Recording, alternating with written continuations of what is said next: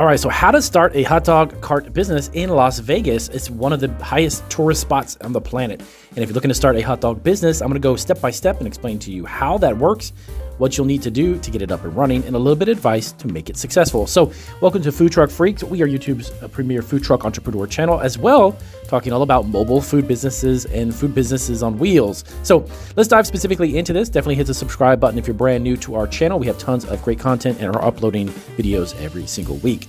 All right, so starting a hot dog cart business in Las Vegas, like any other city, involves a mix of business planning, compliance with local health and business regulations and effective marketing. Yes, believe it or not, you need to market your hot dog stand. Here's a step by step video on how to get started with that. Number one, the first and foremost, one of the things that when I started my food business, I kind of wish I did, but unfortunately I did not, uh, is a business plan.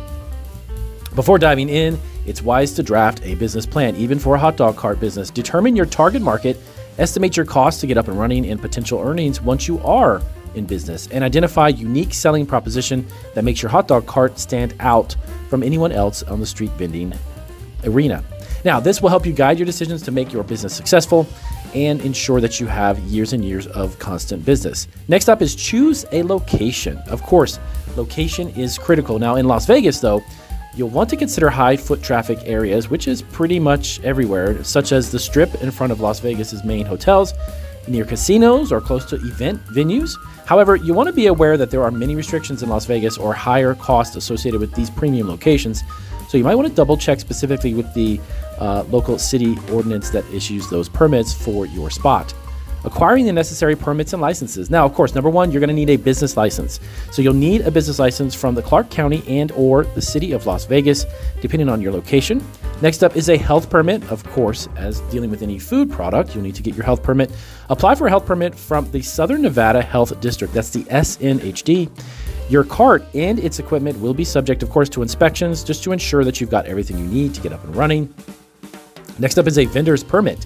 Now, this is going to be dependent on your location. You may need a vendor permit to operate on public property and potentially even private property if you do different events.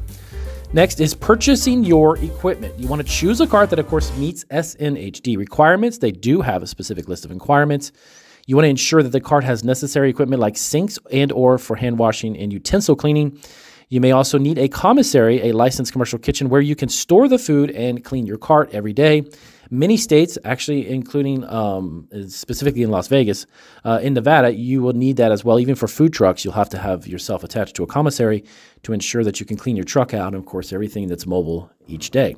Now, sourcing your products. Now, you want to decide if you're going to offer a basic hot dog menu or if you'll have a variety of products. Perhaps with a unique twist or theme, source your hot dogs, buns, and other supplies from reliable vendors. Do a little research. A lot of times, people do actually, believe it or not, uh, that I've worked with in consulting, uh, they get most of their products locally from either big box stores like Costco, uh, BJ's, or like a Sam's Club.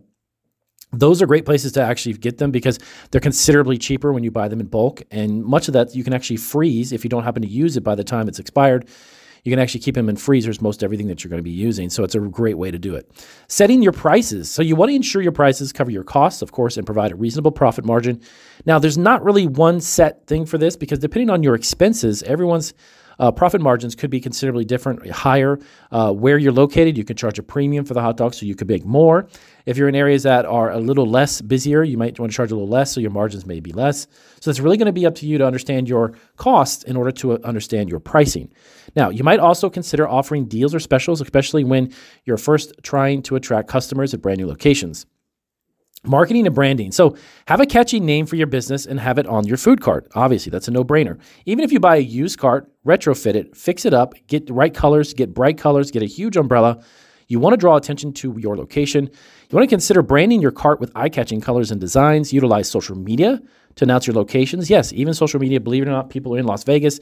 They will search local social media. And if you're on there and they're hungry, then they may recognize you based on that. And you want to interact with customers, of course, attend local events, fairs, or even farmers markets actually to gain more exposure. You may not necessarily need to be on the strip in Las Vegas because there's a lot of local events that can definitely use hot dogs. Safety first. Now, guys, you got to always keep this in mind when you're dealing with food. Always follow health guidelines for food storage, preparation, and serving.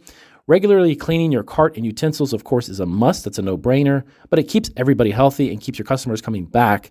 The last thing you want is negative reviews or be shut down due to health concerns. Now, you want to insure your business, of course. Look into obtaining liability insurance. This can protect you in the event of an unforeseen accident or even potential lawsuit from people getting sick or ill. And if the local health department gets multiple uh, complaints on your hot dog cart, they might potentially just shut you down until you get it right. Network. Now, this is an, actually a great one. Join local business groups or associations in Las Vegas related to the food industry. They might have or even offer resources, events, or even networking opportunities that can actually benefit your hot dog cart business, believe it or not, because there may be a corporation or big company corporate event and they want to hire you just to serve hot dogs at an event. That could be thousands and thousands of dollars for one event. Remember, while Las Vegas offers a lot of opportunities due to its high tourist traffic, it also comes with its challenges, just like it does in any other city such as, of course, intense heat during the summer months, make sure your cart has provisions like shade or for you and your products to stay cool. If you're going to be out there all day, you want to consider that, or even a couple weekends back to back. So consider starting small always, gauging your business success. Don't over invest your money into it. Test it out first. And if it works out great, you can always expand. If you put too much money into it at first and it doesn't work out, well, you could lose a lot of money. Just like with any other business, hot dog cart business will fluctuate in sales. You can make a few thousand dollars on a weekend, and you may make a couple hundred. It's really up to you and how much effort you put into it. It's your business. And I'll see you on our next video.